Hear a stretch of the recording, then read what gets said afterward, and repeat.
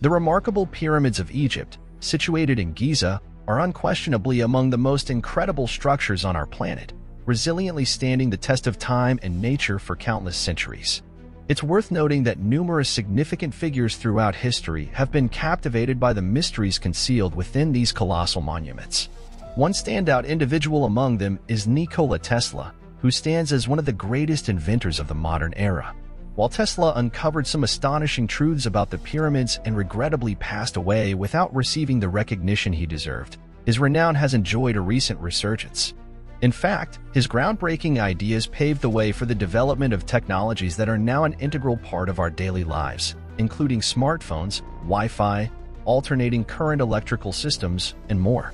Beyond his patented inventions, which were occasionally viewed as eccentric, Tesla also delved into various other enigmatic and highly confidential projects, one of which was related to the Egyptian pyramids. His journey to unravel the secrets of these pyramids commenced when he was just 20 years old and became a lifelong pursuit. With around 2.5 million stone blocks weighing nearly 6 million tons, the Egyptian pyramids stand as enigmatic and majestic structures that draw visitors from all corners of the globe. If you've seen or read about these pyramids, you'd likely concur that they hold concealed mysteries waiting to be unveiled. Some of these mysteries served as the inspiration for Nikola Tesla's groundbreaking ideas and inventions, particularly concerning the potential for the pyramids to generate power, which is truly fascinating. For a considerable time, many believed that the pyramids served as tombs for the pharaohs of ancient Egypt. However, it might astonish you to learn that not a single mummy has ever been discovered within their walls. All the mummies rest in the Valley of the Kings. Additionally, there are no indigenous Egyptian inscriptions or artwork on the pyramids. This fact is quite remarkable, isn't it? Who would invest such significant resources in constructing such colossal edifices without a clear purpose, especially now that we've confirmed they weren't built as tombs for Egyptian pharaohs or as monuments to gods? Nikola Tesla, fueled by his extensive research into ancient structures, concluded that the pyramids contained an astonishing amount of energy. Keep in mind that, during his time, electricity was not well understood. Tesla began to contemplate the possibility that the pyramids might hold advanced technology within them. He became convinced that the pyramids harnessed power from electromagnetism. To him, it seemed plausible that the pyramids were constructed with some form of crystal energy, and the chambers within them were designed to manipulate electromagnetic fields.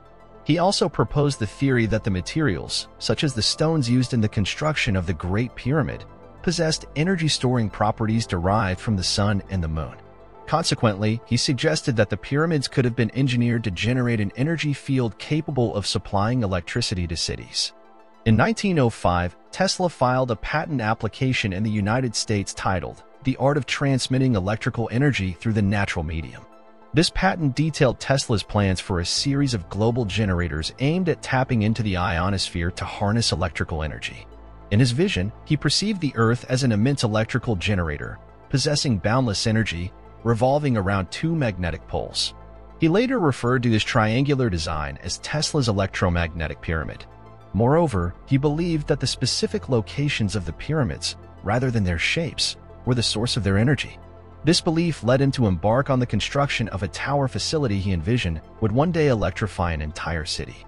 Today, this tower is known as the Tesla Experimental Station, situated at the base of Pikes Peak in Colorado Springs. It is also recognized as the Wardenclyffe Tower or Tesla Tower on the East Coast. Tesla carefully selected the locations for his pyramids, taking into account the principles governing the placement of the pyramids at Giza, as well as their relation to the planet's elliptical orbit and the equator. The construction of the tower was grounded in his theories about how the Earth could conduct signals. According to Tesla, the prototype would transmit and receive data in unlimited energy, potentially reaching as far as Paris, France. Regrettably, following his mysterious demise in 1943, Tesla's discovery and his device faded into obscurity. Nonetheless, his legacy endured. Scholars and researchers, even after his passing, delved into his theories about the power of the pyramid, contributing to the unraveling of many mysteries surrounding these ancient structures. What Tesla aimed to convey to us about the pyramids may seem somewhat enigmatic, Perhaps he invites us to explore the power of something far more ancient than we initially believed. To shed light on this, let's delve into Tesla's concept of numerology. According to him, the numbers 3, 6, and 9 held the key to the universe and held significant importance for all of us residing on planet Earth. He observed that these numbers naturally appeared in the universe, from galaxies and star formations to evolution in nearly all natural systems. Some speculate that his fixation on the numbers 3, 6, and 9 influenced his preference for the pyramidal shape and certain fundamental mathematical logarithms. Tesla considered these numbers to be the primary elements of a universal mathematical language, which might explain why he engaged only in activities aligned with the number 3 or its multiples. Tesla's daily routine was marked by behaviors that clearly reflected his fascination with the numbers 3, 6, and 9. For instance, he had a habit of driving around a building three times before entering, preferred hotel rooms with numbers divisible by 3, and famously resided on the 33rd floor of the New Yorker Hotel in New York City, specifically in room number 3327. Breaking down the mathematics of it, 3 plus 3 equals 6, and 2 plus 7 equals 9. His daily schedule included a mere three hours of sleep each night, and he meticulously polished his cutlery and dishes with 18 napkins before using them. When making decisions, he always involved groups of three people. Additionally, any calculations he performed related to objects or circumstances in his environment were intentionally structured to yield results divisible by three, guiding his subsequent choices and decisions. So, what was Tesla trying to communicate through his unmistakable fixation on 3, 6, and 9. After all, humanity did not create mathematics. Instead, we discovered it, recognizing that mathematics serves as a universal language governing the natural laws that apply to all inhabitants of planet Earth. Consider vortex mathematics as an example. 1 plus 1 equals 2, 2 plus 2 equals 4, 4 plus 4 equals 8, 8 plus 8 equals 16, where 1 plus 6 equals 7, 16 plus 16 equals 32, where 3 plus 2 equals 5. 32 plus 32 equals 64, where 6 plus 4 equals 10. You may notice that these number patterns cycle through 1, 2, 4, 8, 7, and 5, repeating in that sequence. 1, 2, 4, 8, 7, 5, 1, 2, 4, 8, 7, 5. Interestingly, 3, 6, and 9 do not adhere to this pattern. Recognizing that these numerical patterns are found in nature, ancient civilizations mirrored them in their architectural endeavors. Could it be that Nikola Tesla's obsession with these numbers was an attempt to unveil certain truths using the Great Pyramids as a reference point? Let's delve deeper into this notion. The precision of the dimensions of the pyramids is truly remarkable, as they align with the compass in a way that seems achievable only with modern engineering techniques. The Pyramid of Giza, constructed from 2.5 million stone blocks and weighing a staggering 6 million tons, soars to a height of 481 feet and spans over 13 acres. Achieving alignment of this monumental structure to within 1/15th of a degree of true north is a nearly unimaginable feat of precision. Even the base of the pyramid is level within a mere three-quarters of an inch, and despite each of its sides extending over 755 feet in length, they remain within two inches of each other. What's even more intriguing is that the pyramids don't have perfectly flat sides. In fact, each side is slightly concave, a detail that becomes apparent only when viewed directly from above or during the equinoxes, when the pyramids cast their shadows, it becomes evident that the individuals who constructed these remarkable edifices possessed an exceptional understanding of the Earth's dimensions. By multiplying the height of the pyramids, which stands at 481 feet, by 43,200, we arrive at a figure of 3,938.685 miles. Astonishingly, this measurement is incredibly close to the Earth's polar radius, with an astounding accuracy rate of 99.7%. Similarly, when we calculate the base perimeter of the Great Pyramid, which measures 3,024 feet, and multiply it by 43,200, we obtain a measurement of 24,734.94 miles. Remarkably, this closely matches the Earth's equatorial circumference, with a remarkable accuracy rate of 99.3%.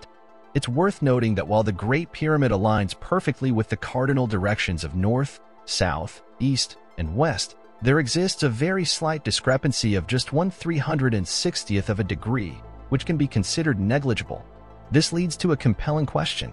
How did the ancient builders, who lived during a time often referred to as the Dark Ages, acquire such precise knowledge of our planet's dimensions? The answer may lie in their fixation on equinoxes.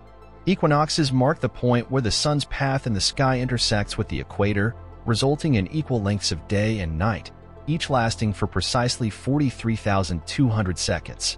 While some skeptics might dismiss the connection between equinoxes and the Earth's size as mere coincidence, engineer Glenn Dash suggests an alternative perspective. He posits that the Egyptians couldn't have relied solely on the pole star or sun shadows to align the pyramids. Instead, they likely harnessed the power of the autumnal equinox, a notion that opens up intriguing possibilities. Achieving precise alignment for these astonishing structures had previously overlooked equinox measurements as a potential method. This omission was rooted in the belief that equinox measurements demanded an exceptionally high degree of accuracy. However, Glenn Dash challenged this perspective, unveiling the potential precision inherent in equinox measurements. Dash conducted experiments aimed at demonstrating that equinoxes could indeed yield accurate measurements. During the fall equinox in 2016, he meticulously tracked the point of the shadow throughout the day, creating a smooth curve of points. As the day concluded, he employed a tall piece of string wrapped around a pole to intersect two of these points, resulting in an almost perfect east-to-west line. This method, known as the Indian Circle method, showcased that while the measurement wasn't absolutely precise, the margin of error was comparable to the slight discrepancies observed in the alignment of the Giza pyramids.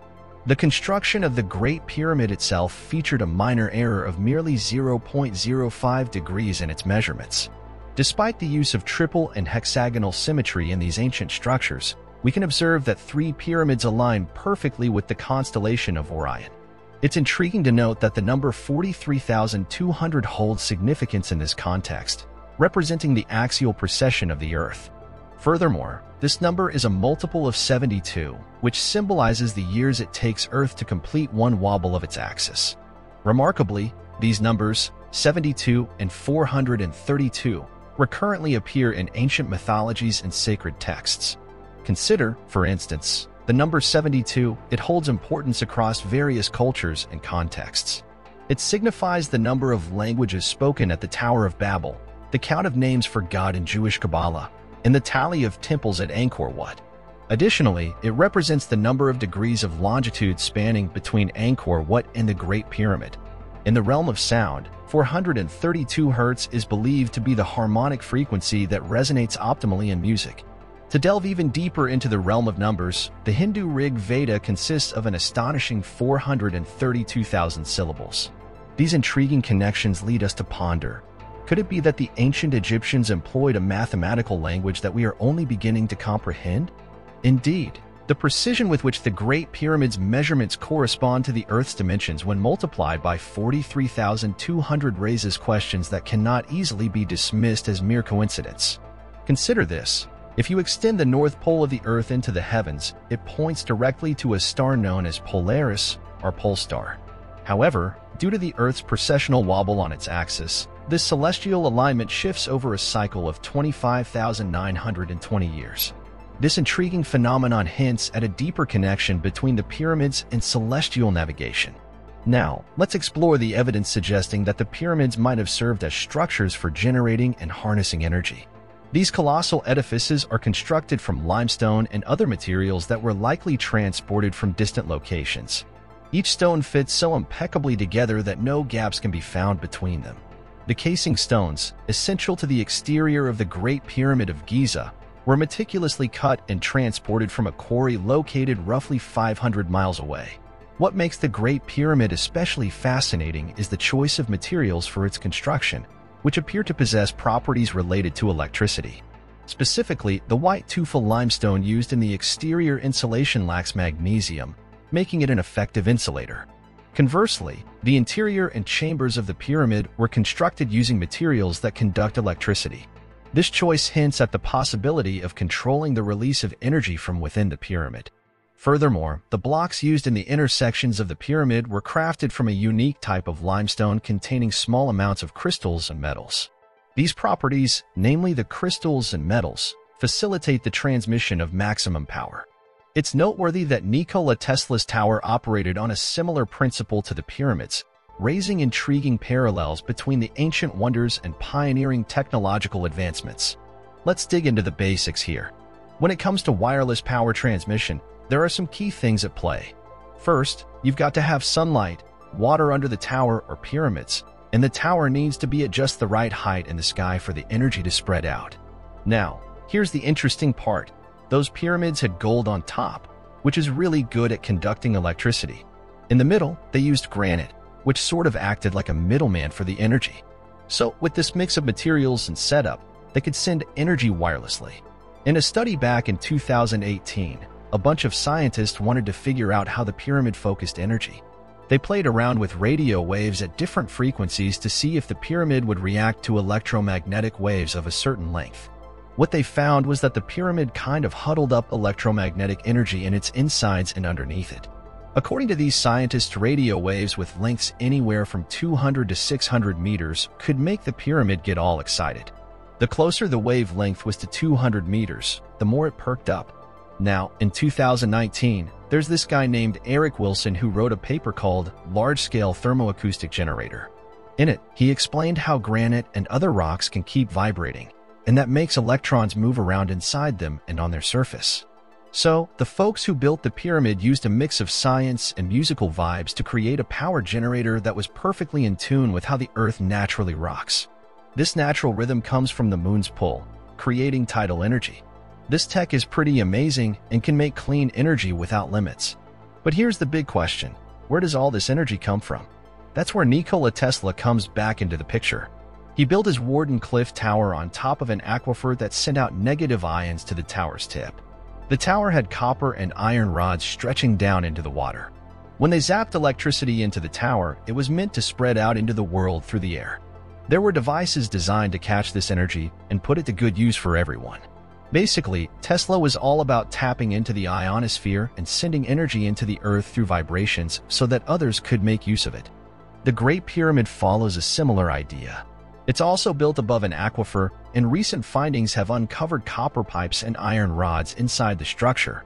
Plus, the pyramid's tip is made of gold. Back in the day, the River Nile used to flow pretty close to the pyramids, and that could have created an electric current under them. This electric juice would climb up through the pyramid's granite stones, making its way to the golden tip. They call this phenomenon piezoelectricity, which is all about gathering electrical energy from natural movements like people walking or the flow of water in a river or underground aquifers. Water would move into the lower chambers and then flow out, creating a sort of pumping action that made the pyramids vibrate. These vibrations would resonate precisely in the king's chamber, where there are some fancy devices designed to grab the Earth's natural energies and turn them into electromagnetic energy. Much like Tesla's system for dishing out wireless power, which relied on the Earth's natural rhythm, the energy produced by the pyramids could have been endless and eco-friendly. But here's the twist in history. Both the tower and the Great Pyramid might have faced some trouble from within. Realizing the groundbreaking potential of his work on power transmission, Tesla got financial backing from J.P. Morgan, who ponied up over 150 grand to back the project. Tesla's plan for wireless energy transmission became public news in 1898. He believed it could make him super famous and wealthy, letting him send energy worldwide, kinda like how Marconi's radio telegraph system sent messages. Tesla had already shown that wireless power could work on a smaller scale, but he needed more money to finish the big project. So he went back to Morgan and asked for more cash. But instead of giving him more dough, Morgan pulled out, claiming Tesla broke the contract. To make matters worse, Morgan then backed Tesla's rivals, Edison and Marconi, who were rising stars with their own inventions. Morgan even spread the word worldwide to steer clear of Tesla's work. By 1915, Tesla went bankrupt and couldn't hold on to the Wardenclyffe property. In 1917, they took apart the tower and sold it for scrap, putting an end to the project. Sadly, the Great Pyramid might have met a similar fate. What if something big happened that made it stop working? There's more to the story. They found hydrochloric acid and sulfuric acid traces in the southern shaft. Plus, there was zinc chloride and ammonium chloride in the northern shaft. These chemicals can make hydrogen, and when you mix ammonium chloride with sulfuric acid, it can go boom. Now, when it comes to an explosion, considering how intricate the pyramid is, it could have been something they could control. In 2001, they found burn marks on the ceiling of the Grand Gallery, right above where those resonators used to be, and cracks showed up on the granite beams on the southeast ceiling of the King's Chamber. Egyptologists said it was because of an earthquake, but the damage looked more like it happened in places where there was a bunch of highly compressed, super hot hydrogen. Besides, the King's Chamber walls got messed up, splitting apart and looking like they were bulging out. So, what do you think? Does Nikola Tesla deserve all the hype and praise he gets today? And just imagine how different the world could have been if his game-changing inventions and ideas hadn't been buried with him. We'd love to hear your thoughts down in the comments.